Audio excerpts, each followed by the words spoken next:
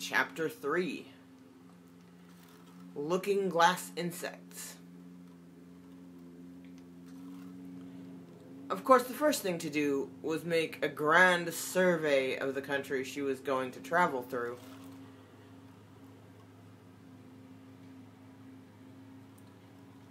It's something very like learning geography, thought Alice, as she stood on tiptoe in hopes of being able to see a little farther.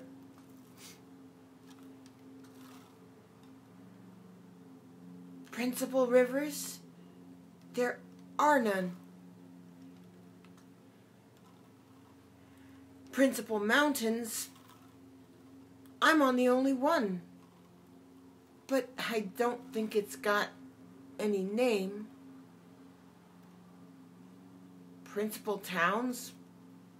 Smart news. Now, Davenport. Davenport men arrested Why- for assault with a deadly weapon. What are those creatures making honey down there?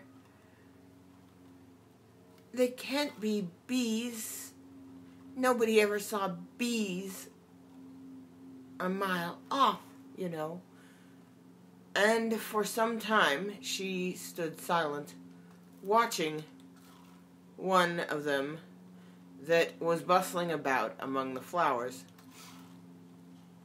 poking its proboscis into them.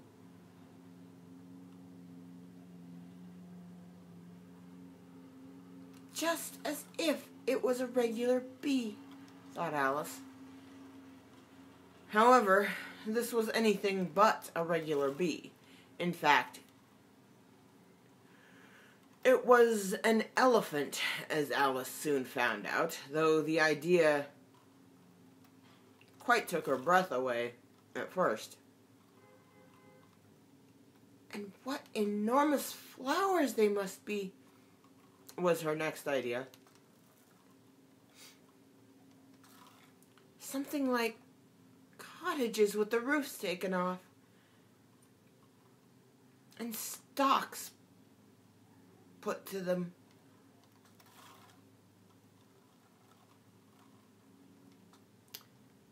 And what quantities of honey they must make.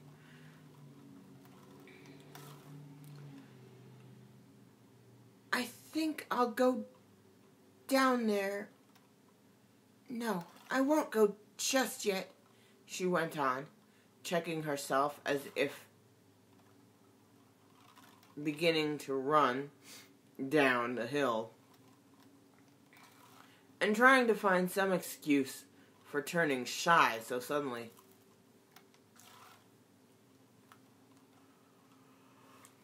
It'll never do to go down among them without a good long branch to brush them away. And what fun it'll be when they ask me how I like my walk. I shall say, Oh, I liked it well enough. Here came the favorite little toss of the head. Only it was so dusty and hot.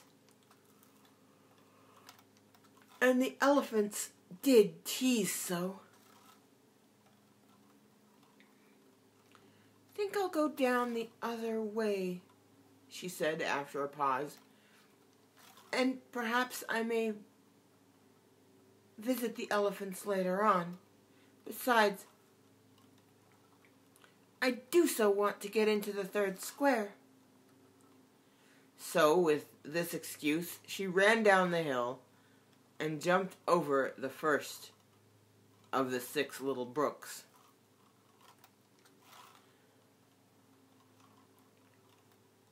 Tickets, please, said the guard, putting his head in at the window. In a moment, everybody was holding out a ticket. They were about the same size as the people and quite seemed to fill the carriage. Now then, show your ticket, child, the guard went on, looking angrily at Alice. and a great many voices all said together, like the chorus of a song, thought Alice. Thought Alice. Don't keep him waiting, child. Why? His time is worth a thousand pounds a minute. I'm afraid I haven't got one, Alice said in a frightened tone. There wasn't a ticket office where I came from. And again the chorus of voices went on.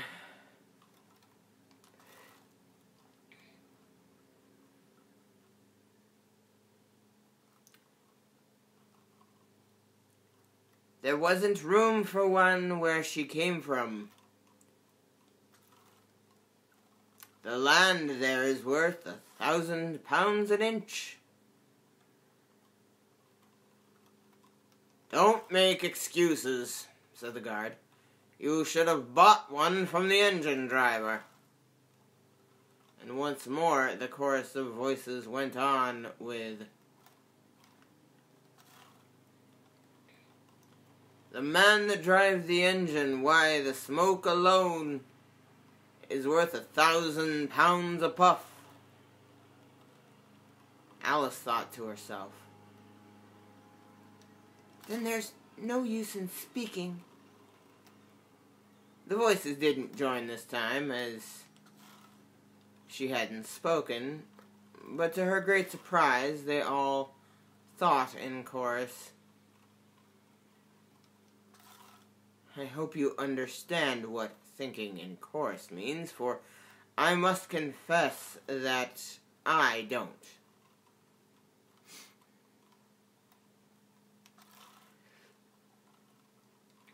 Better say nothing at all. Language is worth a thousand pounds a word.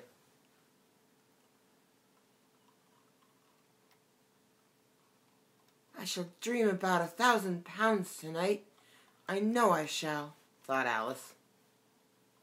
All this time, the guard was looking at her.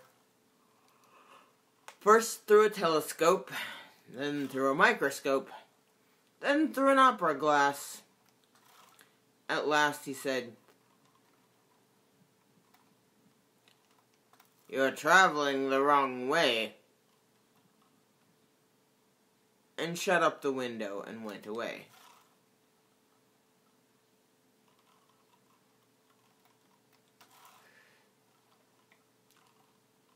So young a child, said the gentleman sitting opposite to her. He was dressed in white paper. Ought to know which way she's going, even if she doesn't know her own name. A goat that was sitting next to the gentleman in white shut his eyes and said in a loud voice, She ought to know her way to the ticket office, even if she doesn't know her own her alphabet. There was a beetle sitting next to the goat. It was a very queer carriage full of passengers altogether, and as the rule seems to be that they should all speak in turn, he went on with, She'll have to go back from here as luggage.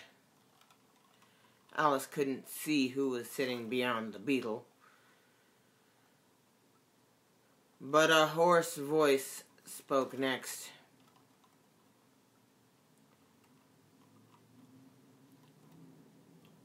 Change engines, it said. And there it choked and was obliged to leave off.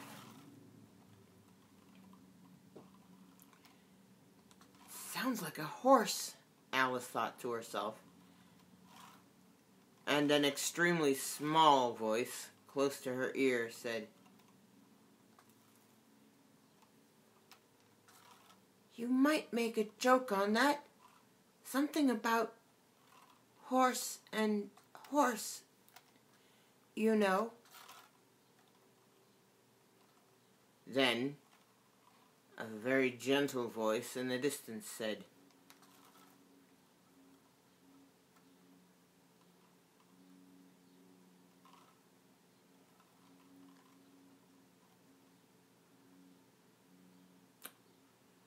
She must be labeled Lass. With care, you know. And after that, other voices went on. What a number of people there are in the carriage, thought Alice, saying, She must go by post, as she's got a head on her. She must be sent as a message by the telegraph.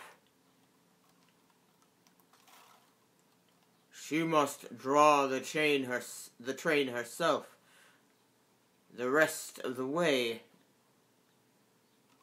and so on. But the gentleman dressed in white paper leaned forward and whispered in her ear.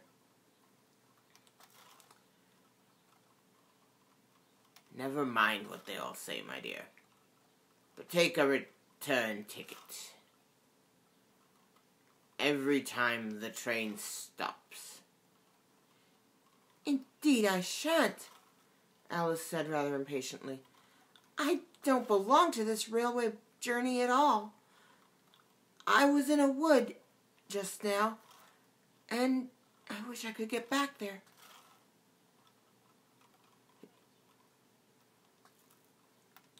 You might make a joke on that, said the little voice close to her ear.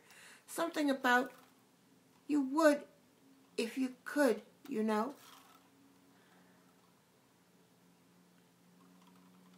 Don't tease so, said Alice, looking about in vain to see where the voice came from. If you're so anxious to have a joke made, well, why don't you make one yourself? The little voice sighed deeply, and. For it was very unhappy, evidently. And Alice would have said something pitying to comfort it. If it would only sigh like other people, she thought. This was such a wonderfully small sigh that she wouldn't have heard it at all if it hadn't come quite close to her ear.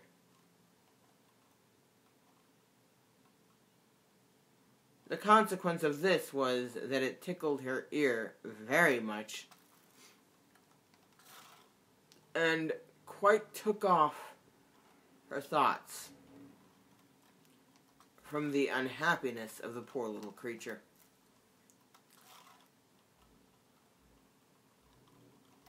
I know you are a friend, the little voice went on. A dear friend and an old friend. And you won't hurt me, though I am an insect. What kind of insect? Alice inquired, a little anxiously. What she really wanted to know was whether it could sting or not, but she thought this wouldn't be quite a civil question to ask.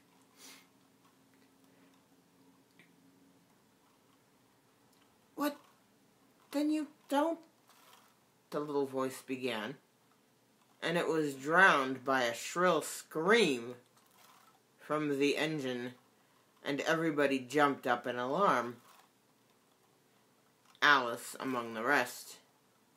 The horse, who had put his head out of the window, quietly drew it in and said, It's only a brook we have to jump over. Everyone seemed satisfied with this, though Alice felt a little nervous at the idea of trains jumping at all. However,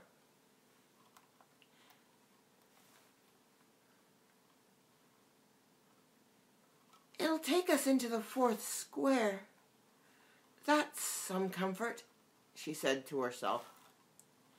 In another moment, she felt the carriage rise straight up into the air. And in her fright, she caught at the thing nearest to her hand, which happened to be the goat's beard.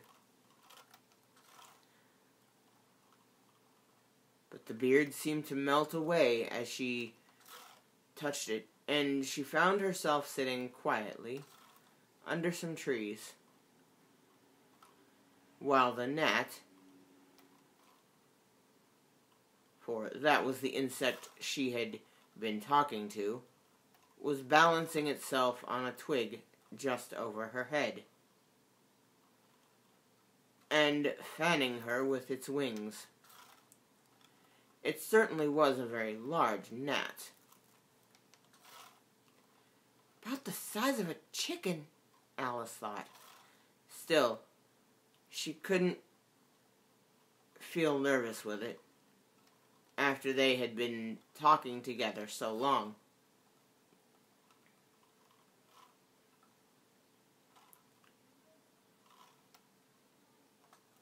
Then you don't like all insects, the gnat went on, as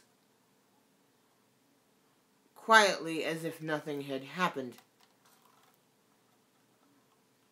I like them when they can talk, Alice said. None of them ever talk where I'm from.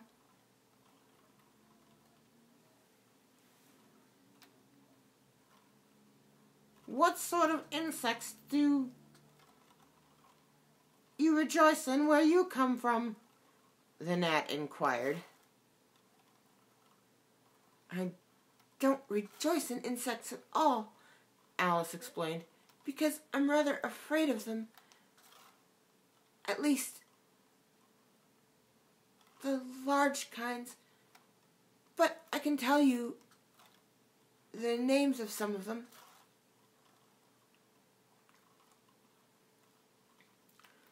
Of course they answer to their names, the mark uh, the gnat remarked carelessly. I never knew them to do it.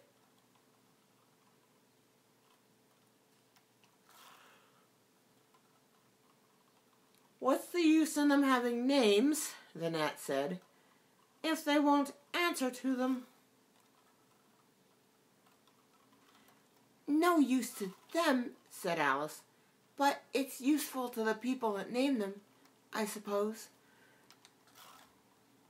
If not, why do things have names at all? 94.9 WMMQ. Now, BBB reports top COVID 19 scams. Remember to never give out your financial or health insurance Shut- information to someone you. Speech off. Ah, there. Speech is now officially off.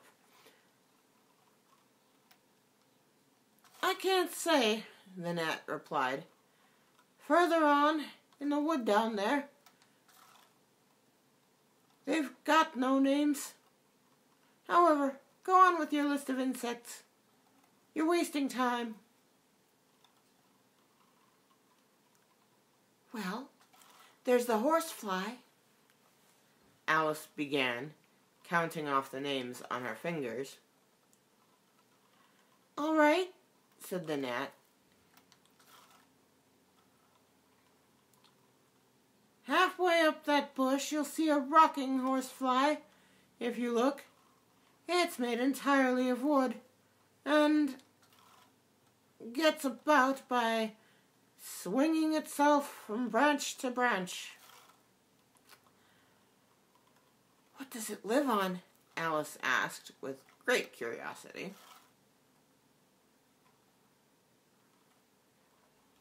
Sap and sawdust. Go on with the list. Alice looked at the rocking Horse Fly with great interest and made up her mind that it must have been just repainted. It looked so bright and sticky. And then she went on.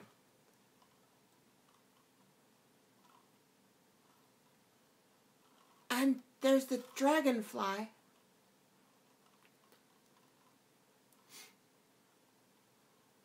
Look on that branch above your head, said the gnat, and you'll find a snapdragon fly. Its body is made of plum pudding, its wings of holly leaves, and its head is a raisin burning in brandy. And what does it live on? Alice asked as before.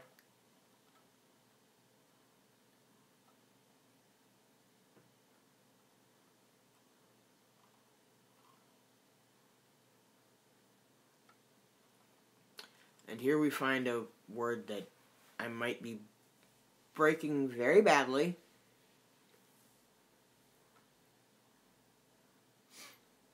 Or not.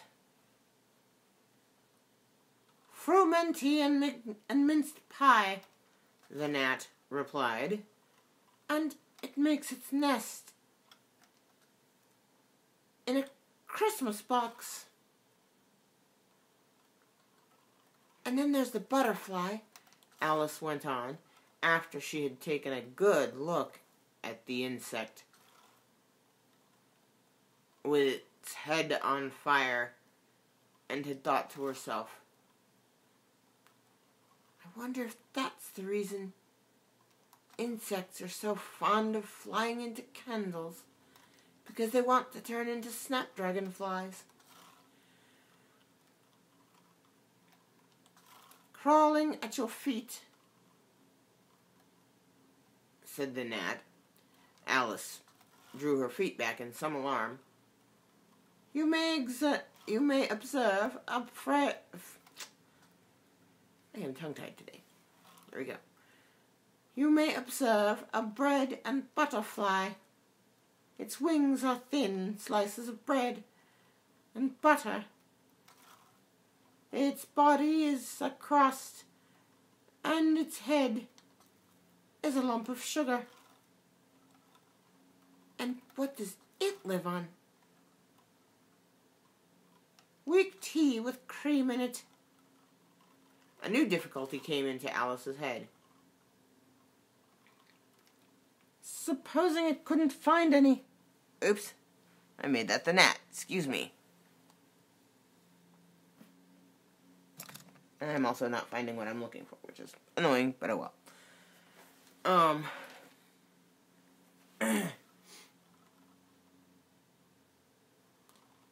Suppose it couldn't find any, she suggested. Then it would die, of course. But that must happen very often.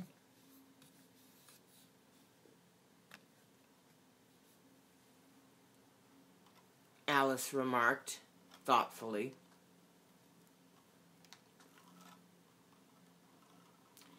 It always happens, said the gnat. After this, Alice was silent for a minute or two, pondering. The gnat amused itself, meanwhile, by humming round and round her head.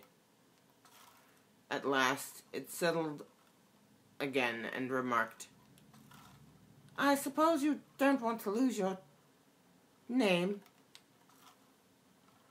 No, indeed, Alice said a little anxiously. And yet, I don't know, the gnat went on in a careless tone. Only think how convenient it would be if you could manage to go home without it. For instance, if the governess wanted to call you to your lessons, she would call out, Come here! And there she would leave off because there wouldn't be any name for her to call. And of course, you wouldn't have to go, you know? That would never do, I'm sure, said Alice.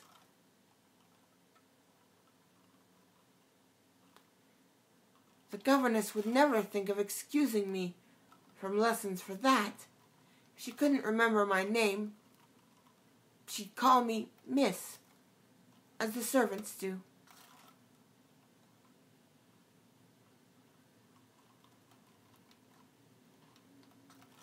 Well, if she said Miss and didn't say anything more, the gnat remarked, of course you'd miss your lessons. That's a joke. I wish you had made it. Why do you wish I had made it? Alice asked. It's a very bad one. But the gnat only sighed deeply while two large tears came rolling down its cheeks.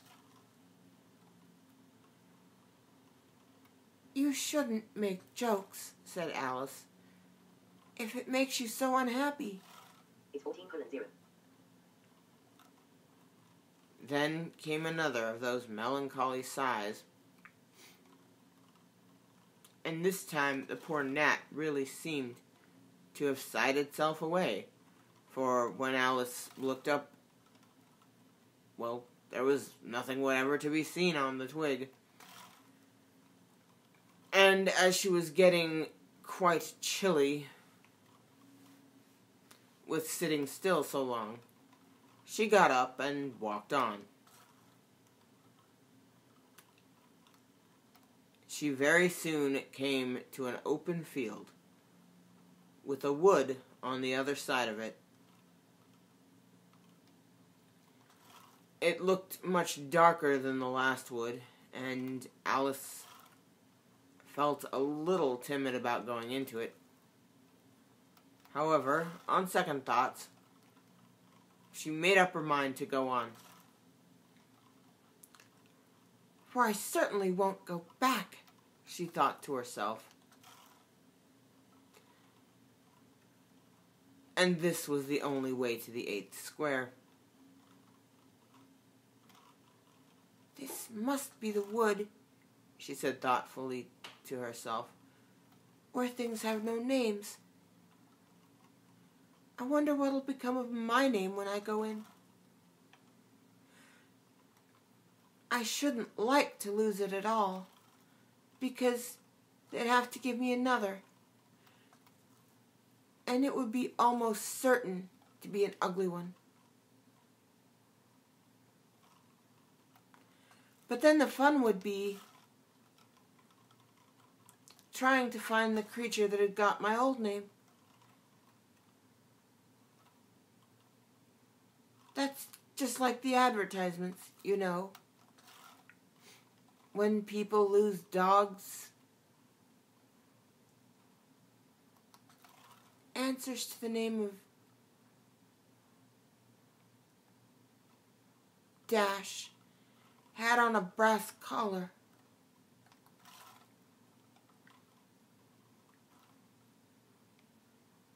Just fancy calling everything you met Alice until one of them answered.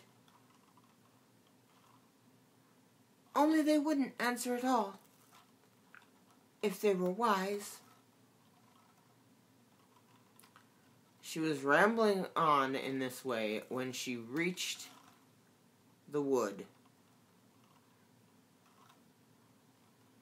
It looked very cool and shady.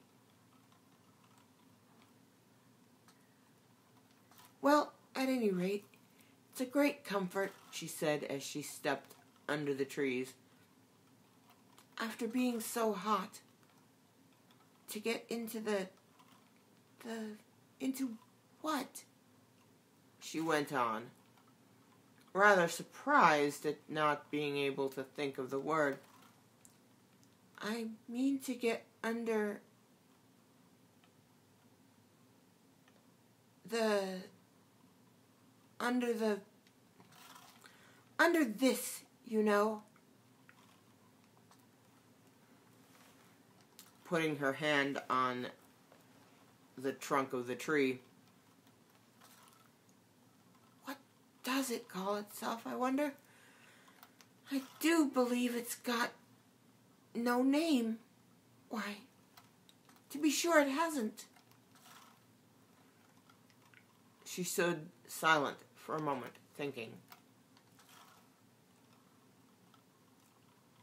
Then suddenly began again. Then it really has happened after all. And now, who am I? I will remember if I can. I'm determined to do it. But being determined didn't help her much, and all she could say, after a great deal of puzzling, was L. I know it begins with L. Just then, a fawn came wandering by. It looked at it looked at Alice with its large, gentle eyes, but didn't seem at all frightened. Here then. Here then, Alice said as she held out her hand and tried to stroke it. But it only started back a little and then stood looking at her again. What do you call yourself? The fawn said at last. Such a soft, sweet voice it had. I wish I knew, thought poor Alice. She answered quite sadly. Nothing just now.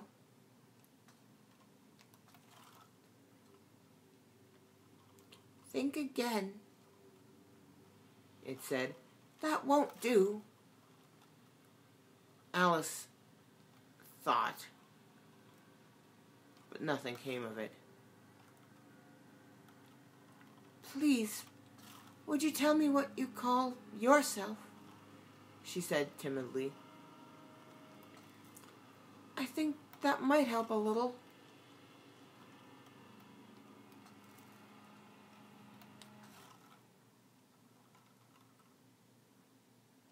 I'll tell you. If you'll come a little further on, the fawn said. I can't remember here. So they walked on together through the wood. Alice with her arms clasped lovingly round the soft neck of the fawn, till they came out to another open field. And here the fawn gave a sudden bound into the air and shook itself free from Alice's arms. I'm a fawn, it cried out in a voice of delight. And dear me, you're a human child. A sudden look of alarm came into its beautiful brown eyes, and in another moment it had darted away at full speed. Alice stood looking after it, almost ready to cry with vexation at having lost her dear little fellow traveler so suddenly. However, I know my name now, she said. That's some comfort. Alice. Alice. I won't forget it again. And now, which of these finger posts ought I to follow, I wonder? It was not a very difficult question to answer, as there was only one road through the wood, and two finger posts both pointed along it. I'll settle it, Alice said to herself. When the road divides and they point different ways. But this did not seem likely to happen. She went on and on a long way. But whenever the road divided, there were sure to be two finger posts pointing the same way. One marked to Tweedledum's house, and the other to the house of Tweedledee. I do believe, said Alice at last, that they live in the same house.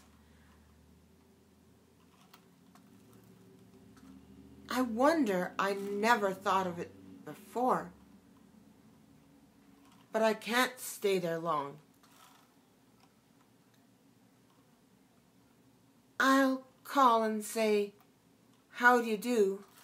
And ask them the way out of the wood. If I could only get to the eighth square before it gets dark. So she wandered on, talking to herself as she went, till, on turning a sharp corner, she came upon two fat little men, so suddenly that she could not help starting back. But in another moment she recovered herself, feeling sure that they must be. Well, I think we can be pretty sure who they are. And we will meet them tomorrow. Um,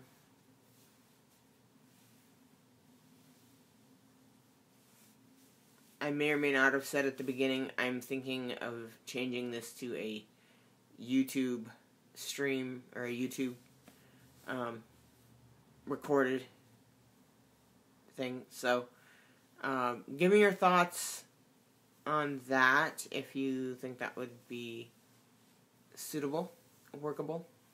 Um, or if you really, really want to see these live ones continue, holler back at me and be like, don't stop it. Um, but give me your thoughts on that option as well. And I will see you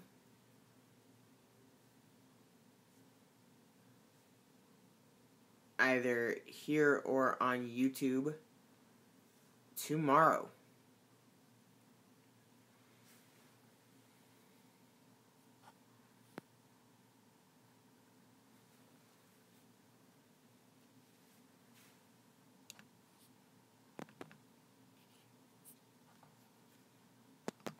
Speech on.